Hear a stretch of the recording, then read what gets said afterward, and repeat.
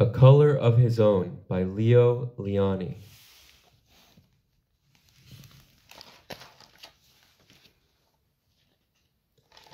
A sad chameleon has a problem. Unlike all the other animals, he has no colors of his own. Changing wherever he goes, he turns red with the autumn leaves and black in the long, dark winter. But in the spring, in the green grass, he finds a delightful solution.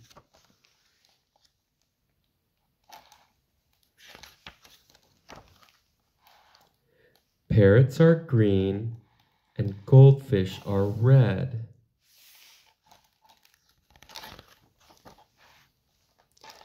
Elephants are gray and all the animals have a color of their own. Pigs are pink, except for chameleons. Chameleons can be yellow, green, blue, purple. They change color wherever they go. On lemons, they're yellow. In the heather, they're purple.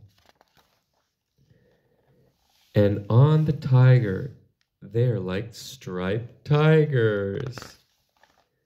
One day, a chameleon who was sitting on a tiger's tail said to himself, If I remain on a leaf, I shall be green forever, and so I too will have a color of my own.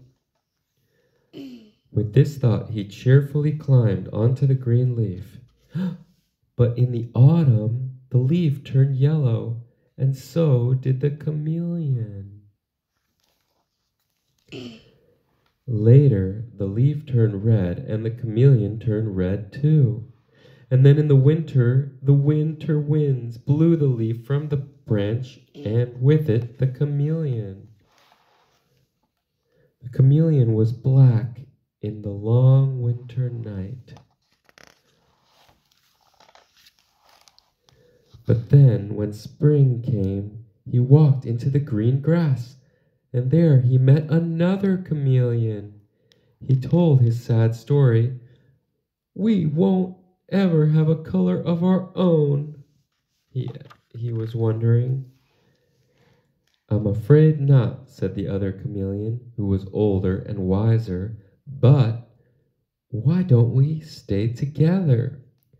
We will change color wherever we go, but you and I will always be alike. And so they remained side by side. They were green together, and purple together, and yellow together, and red with white polka dots.